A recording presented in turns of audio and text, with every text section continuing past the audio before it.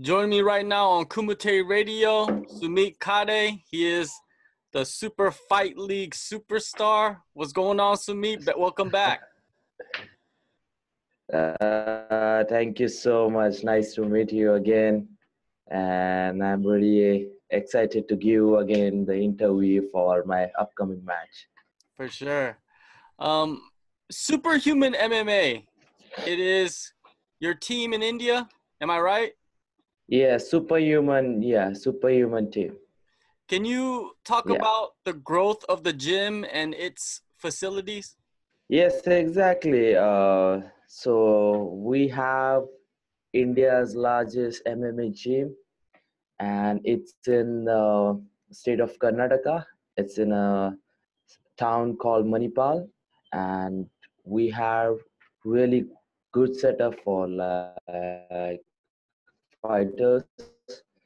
We have the cage, the jiu-jitsu arena, the kickboxing for the functional training, and really like a really in a good way they have done the setup. Even they have the cafeteria, and you know I think that place gonna be like a future MMA. You can say hub of India. You can say like that.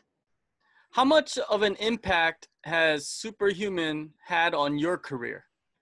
Oh, so I think because of uh, the Superhuman team, the, I have joined with my manager like almost like it's been four years. I'm working with uh, Somesh Kamra. He's my manager and then we he formed a superhuman you know like a team. And you i'm like a co-fighter of the superhuman team so and because of the gym really work out really in a performance way. And you can say through you know getting the fights into the fights. So i think it really worked out for me. Almost like you can a lot like 100% workout for me. Before your amazing run during yeah. the second season of super fight league earlier this year you were on a two fight losing streak. Rumors there were some rumors right that the promotion yeah. they were very hesitant to bring you back. Is that true? Exactly. Yes exactly. They were like thinking to get me back into the ring and i was like really I work hard, you know, I train hard. I know after the fighters know after the losing streak what is your like mentality, like, you know, where it goes. But I just train hard, train hard, train hard every time. And then they are saying like they are confused to give me fight or not. And finally I I said like just give me one fight. You know i will prove you. Like give me anyone like any one fighter. I don't mind. So they have given me and they were not confident about me when i when i had my first fight in the second season. But i proved them wrong and i feel like really happy after that knockout the first knockout. Definitely. You went on and you won three fights in three weeks. One of your knockouts I think your second knockout it went viral. Do they still talk to you about it right now? Of course, yeah, because everyone knows, like you know, like because of that uh, video.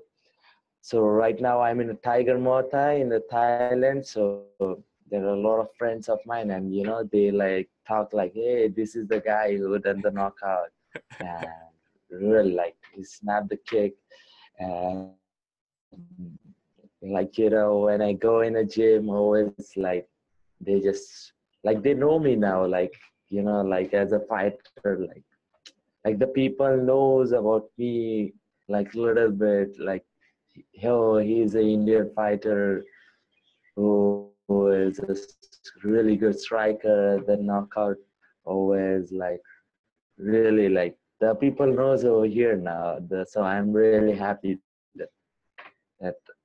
that I'm in a like a in another level. I got in a one more one step ahead what I used to be. Definitely must feel really good to be able to be recognized for what you do professionally. Yes, exactly. Uh, yeah. Actually, you know what? So so after that knockout, you know, it went viral all over the world and the people were start like, you know, following me and the people start liking me the way I do the you know like a strike and where I fight. So now they are like more excited for my upcoming fights. Like they have a lot of hopes from me, like looking as an Indian fighter raising, you know, like going ahead. So a lot of hopes from from uh, from the like the following, you can say like the followers or friends, family, everyone. Yeah, you are probably the most recognizable Indian fighter in the world, I believe.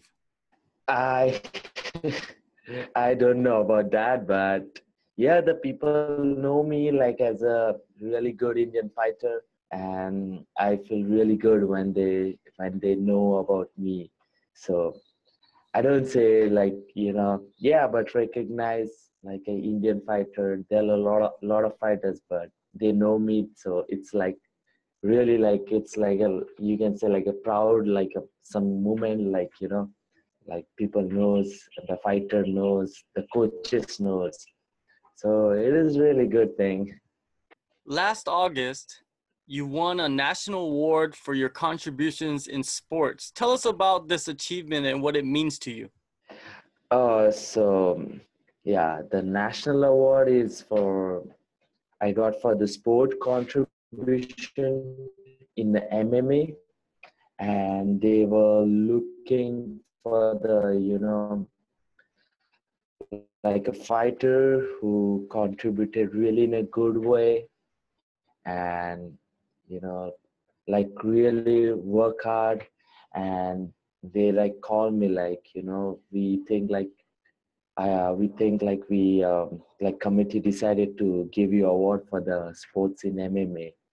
So I was like, yeah, like you know, I was so happy. Like I'm doing some contributing for India sports MMA, and it, it, it is really like you know like unpredictable. Like you can say unbelievable. Like I have not believed like I will get some national award for MMA sports and really proud movement. There were a lot of people from different different backgrounds, and I got the award, and it was like really proud moment for me and for MMA sports in India.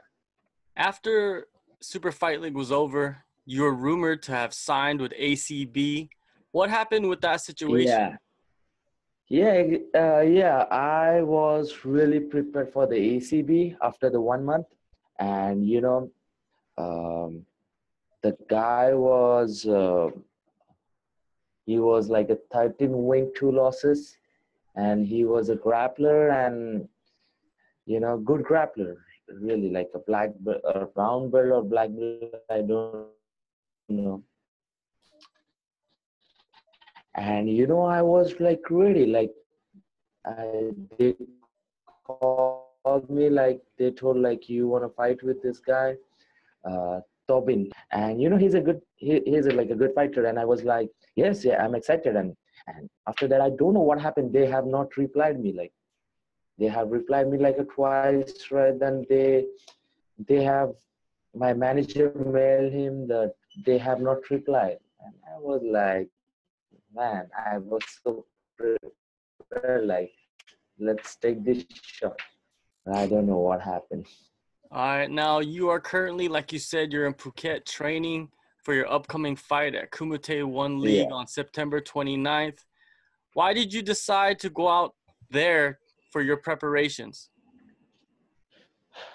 So I was like, after my super fight league, I was a little bit getting busy in the work, like, you know, a little bit in the work, but I want like a full attention. I want trying to want to focus like a fully, like dedicatedly, nothing distraction. Mm-hmm. So I think like a Phuket Tiger Muay Thai is the best place to go and train and you know mentally focus, and you can prepare for your fight camp. So I decided to come over here to sharpen my tools, to learn some new skills, and you know to raise my performance level up. So that's why I decided to come over here. How has your training been? And what does your weekly routine look like? So the training is good. They have the whole schedule. So they have like a multi schedule, the grappling schedule, strength and conditioning schedule, wrestling, then kickboxing, everything. So I usually make one week of schedule. So where I have to work. So in the second week I work on a little bit push hard. Now third week it's like more about you know like agility, more like endurance and more about techniques and you know like i will go a little bit hard so usually in a day i i, I try to attend the three session. So one session is for one and a half hour. So one i do like a, some technique session and one like little bit hard session tough session. Hard means like mma sparring the wrestling. These are the hard session. So I do like a one in morning, like a kickboxing techniques, or you can say grappling, you know, rolling and all. And evening, the wrestling, and then a little bit go on the pad work or something like that, sort of. Your opponent has not been publicly revealed. Could you give us a clue of who it is? Oh yeah, so there was a lot of discussion going on on my opponent for India versus UAE is happening so when they called me like you know like they were searching for me as an opponent. And i was like okay i'm ready like you know with anyone. But they are not finding any like like UAE. There are a lot of UAE fighters, but with the promotion with the type, is little bit like uh, it's not too much too many fighters. So they have given me i'm really surprised like you know to tell you but they have given me fazil rabi he's afghanistani and he trains in india in bangalore.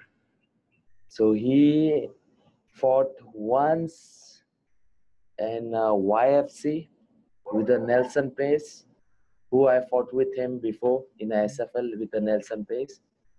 And uh, he won the fight and he done a lot of amateurs fights too. So you know they told like you your opponent is 1-0 what the what is your i was like you know such like you know who has like a little bit of my you know my record of thing like but they are saying we don't have right now, like your record, you know, and what the matchmaker thinks if it's like your height, like everything match up. It's not like every like. So they told like this is a guy, you know, he he is like way and he's much better like reach at your level. So you like I said I don't have any option whether he has any you know just ask him like if he has if he's ready i'm ready i don't have just give me anyone like i don't care like i just want to fight i just want to fight fight fight fight going into k1l what are your expectations okay. of yourself so k1l is happening first time and it's mumbai in my city and i'm really excited so I will give my best performance. Of course, I want to give because I'm in a three streak win and I can't, you know, like make myself down. I need to up. That's why I I came in Phuket and for the training and I want to train hard, you know, as much I can do. Like just I want to raise my performance bar. So that's why my intention would be like straight like performance. That's it.